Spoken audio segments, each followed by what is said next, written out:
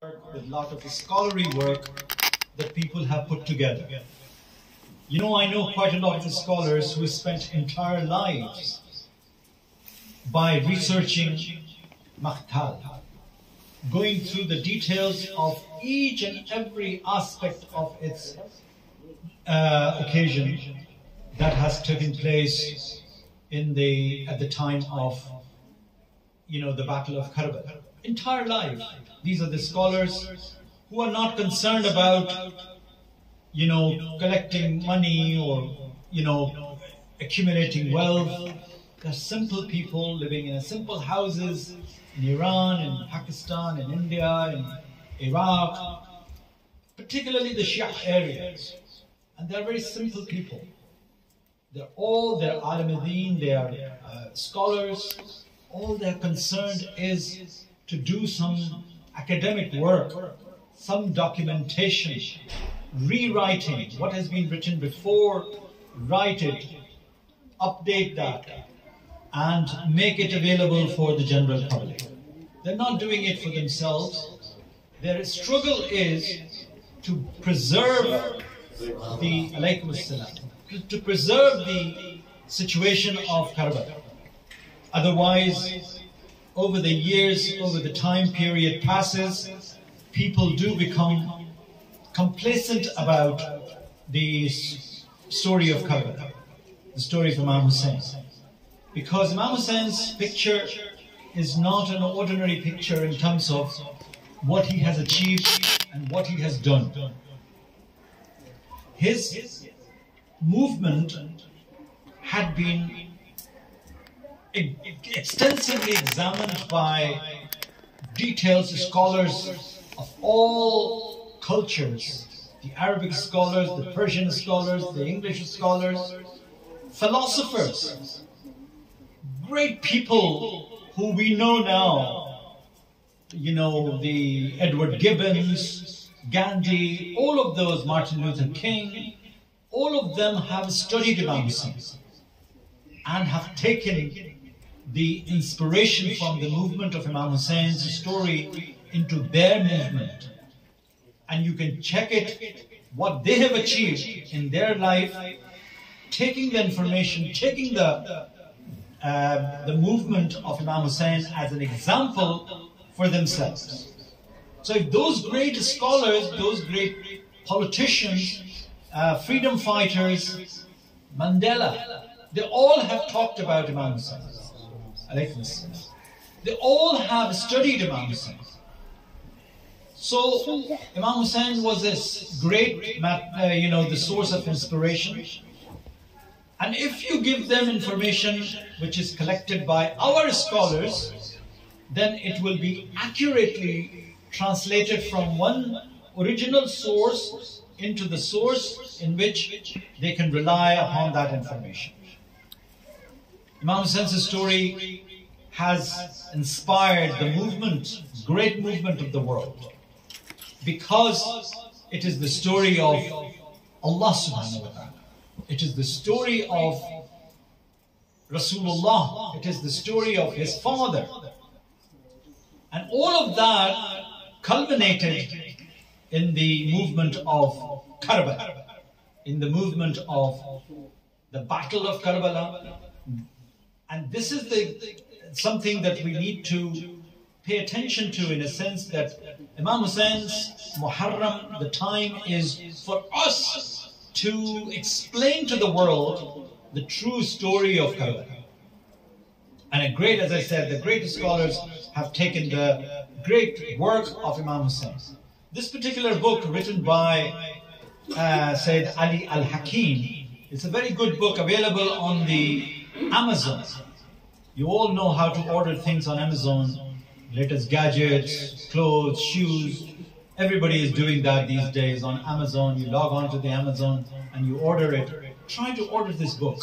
It's a very interesting book, written by uh, a very pious Sayyid Al-Hakim, probably from Iraq, but he's based in Dubai. He has a house in Dubai and he has put together a detailed account of all Imam Hussein's movement. And the title of Imam Hussein, Life and Legacy. So please try to do your own research. And throughout the year, you don't have to do just in Muharram and finish. No, make a habit of be closer to Imam Hussein's story, that what stages Imam Hussein has gone through in his lifetime, uh, reaching to that. Of course, we know this story. Of course, we explain that what happened to him from the 28th of Rajab and before that, how the political situations were changing, how he had to leave uh, Makkah for Medina first, and then he leave Medina to uh, to Karbala. All of that is, we all know that, and we are trying to cover it.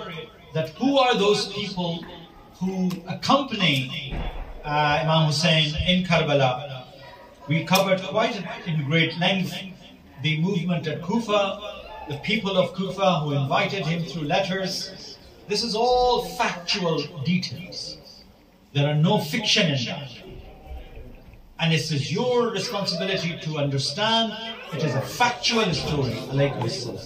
It is a factual story of, of, of Imam Hussein that is written by academics, scholars and academics who have put down the details.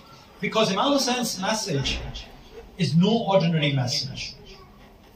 Revolutions like Islamic revolution of the, of, of the world, should I say, not Iran, but it started in Iran.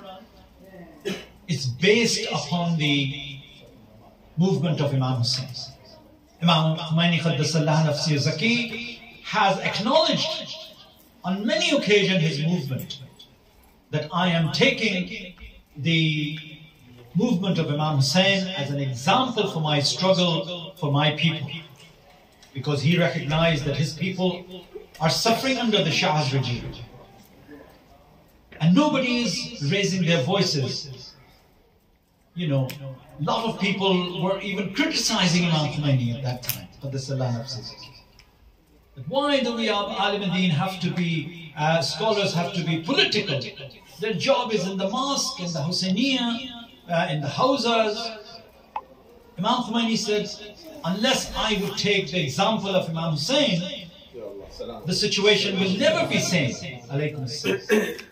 The situation will never change. As previous scholars have not done anything, therefore I will do my best to create this movement.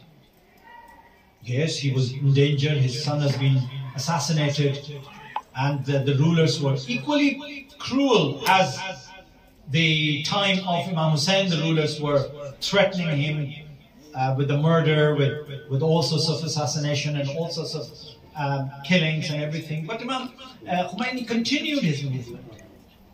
Imam Khomeini's movement and the movement of Islamic revolution, that is, Alhamdulillah, we have experienced in our lifetime, is the greatest wealth that Muslims can get and get examples from the success of the Islamic revolution. So much so that now, after 40 or 50 years, because no movement get established straight away, now it is spilling over in different regions. In Syria, recently we have witnessed. In Iraq, now we have witnessed. Even the Guardian newspaper, those who read international newspapers, you would know that. A couple of days ago, the Guardian newspaper have written that how the movement of uh, the success of the Islamic revolution in Iran is now creating an impact on the political situation in Iraq. So, of course, it is a spiritual journey that Imam Hussein took and created an example for the world, but it has also has a hidden message. And it is the greatest tragedy that occurred in the plains of Karbala because Imam Hussein gone to the maximum limit of what one can sacrifice. Usually a person sacrifice himself or one person. Here is the man who is sacrificing everything that he has. Leading to a situation whereby his conditions were being discussed many times that what was the reason for Imam Hussein to be remain in Karbala? It was not him, it was not his choice to be in Karbala. He was given, even to say that there was a discussion that he can go to Yemen. The scholars have written about it. He can go to, even he himself expressed that had I been allowed, I would have loved to go to Hind. One of the scholars have mentioned that. Al Hind, India. That is Imam Hussein's wish was. But no, he was not being allowed to move around. He was channeled through, guarded through the soldiers and the poor who has been mind, minding the caravan of Imam Hussein all the way to Karbala and to put a trap around Karbala. So, movement of Imam Hussein, you look at from the different direction, from the different uh, point of views, and, and different cultures have taken uh, Imam Hussein's movement from different ways. And if you see it, then you would realize that how it can be understood in better way because it survived. The dream of Yazid was that I will take him to a remote plains of Karbala, a remote jungle, no uh, you know, civilization there, and I would finish it off, his family and his, himself, and people will forget about it. At that time, yes, people were confused. Nobody knew where Imam Hussain was. Even um, even uh, his friend yesterday, I talked about it, uh, Habib ibn Mazahir, he did not know where Imam Hussain is. And he was spreading lies to people that yes, Imam Hussain have accepted bayat, he's okay, he's here, there, somewhere, not explaining the reality what was going on. Not understanding that Imam Hussain is no ordinary person, he is nothing but a grandson of Rasulullah wasallam, and he will at any cost will not accept the oath of allegiance from a, a person like Yazid. These are the realities of that time that we need to look at it and read about. The more you would read about Imam Hussein, the more you will unturn a new chapter. Each Muharram you will discover a new things about Imam Hussein's movement and how the world have understood that. How the world has beginning to, you know, to realize that this is something much more sacred for Shias, for Muslims, for general population. Yes, the enemy of Imam Hussein will never accept that. The Wahhabi sect will never accept that. They will never even acknowledge that. Do you know that in India, Ashura is a national government holiday? Minority religion. 20% people, 30%, 25% Muslims. Majorities of, are their so-called kafir. They are not even Muslims. But the government realized the importance of Ashura and have declared the national holiday. This is the importance of the Ashura. That is the importance of the movement of Imam Hussein. When it spread to the world, then it was realized by other nations, other religions, that that is something very heavy, it is something very important, and the family of Rasulullah, Allah Muhammad wa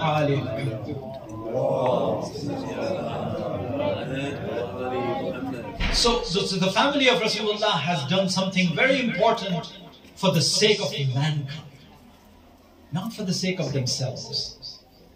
As I said, mentioned uh, earlier on, that he was not after about anything. All he said that Bahr Islahi Ummat Jaddi. That was his phrase. Bahr Islahi Ummat Jaddi.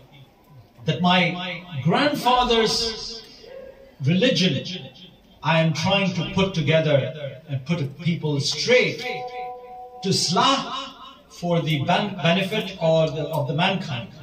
That my father, grandfather's religion is in danger and therefore I have to do something about it. And I have to create this movement.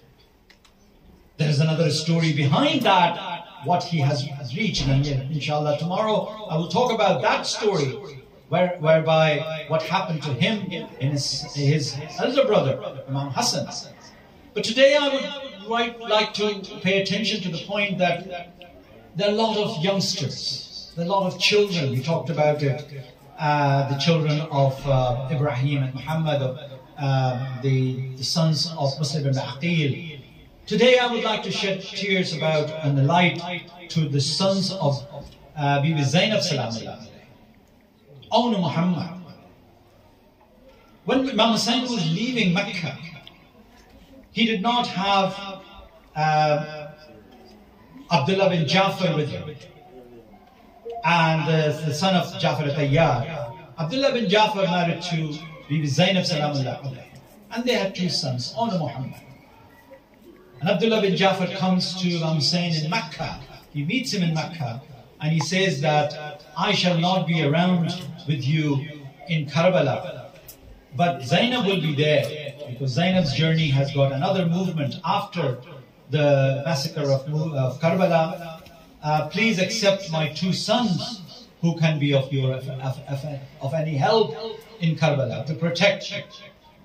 Now these are the young teenagers, youngsters, 13 years of 12 years age, uh, two boys, Awn Muhammad, son of Abdullah bin Jafar and Bibi Zainab Salam and he handed over to them to Imam Hussein in Makkah to represent them